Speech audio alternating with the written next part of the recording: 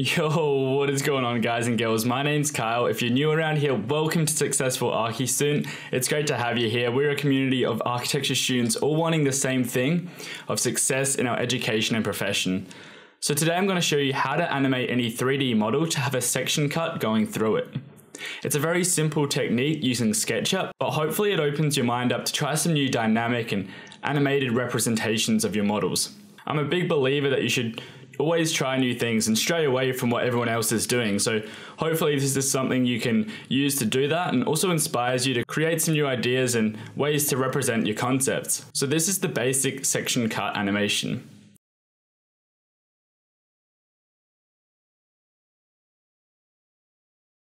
It's very simple, yet it allows you to have a dynamic aspect in your presentations. This is how I used it for my last assessment for a project I called the Earthbound Rocket Ship. Three, two, one, zero. All engine running. Liftoff. We have a liftoff. 32 minutes past the hour. Liftoff on Apollo 11. Tower cleared. we got a roll. Neil Armstrong reporting the roll and pitch program, which puts Apollo 11 on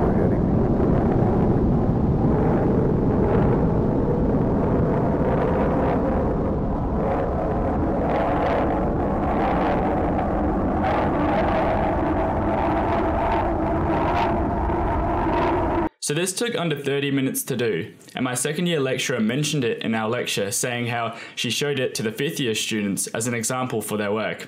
And they said, You think we have time to do this? So it's obviously a very unique and cool way to represent your work.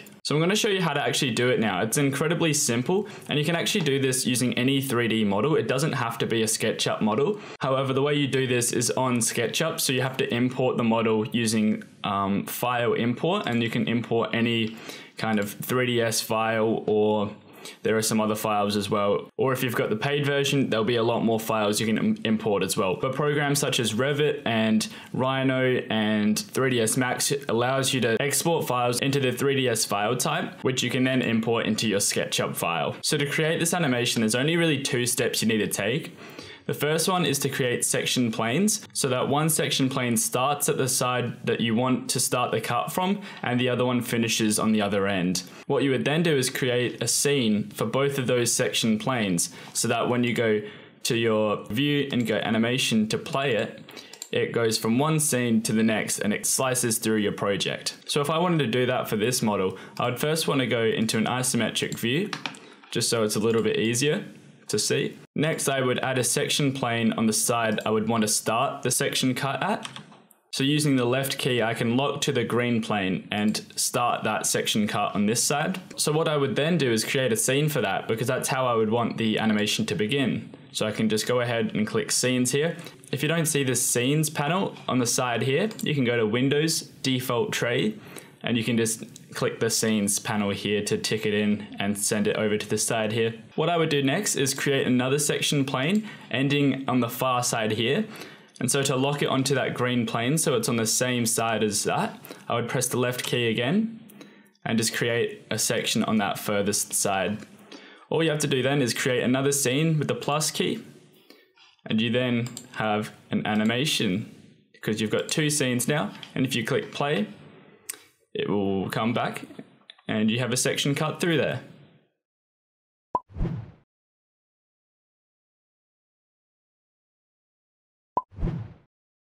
If you wanted to slow this down because it's looking really pretty fast, what you can do is stop the animation and then you can go to view, animation, settings, and you can change the transition time as well.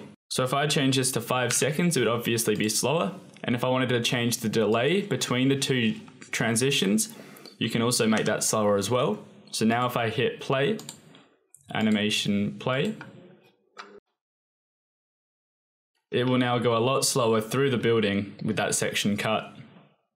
There will also be a longer transition between the two cuts as well. So this is obviously a very simple and basic way to do this. As you can see, this probably took under 30 seconds to actually do, but it really is quite an effective way that not many people use to represent your concept. The idea behind showing you this though is however to kind of open you up to try new things and be creative in the way you use animation and technology to represent your ideas.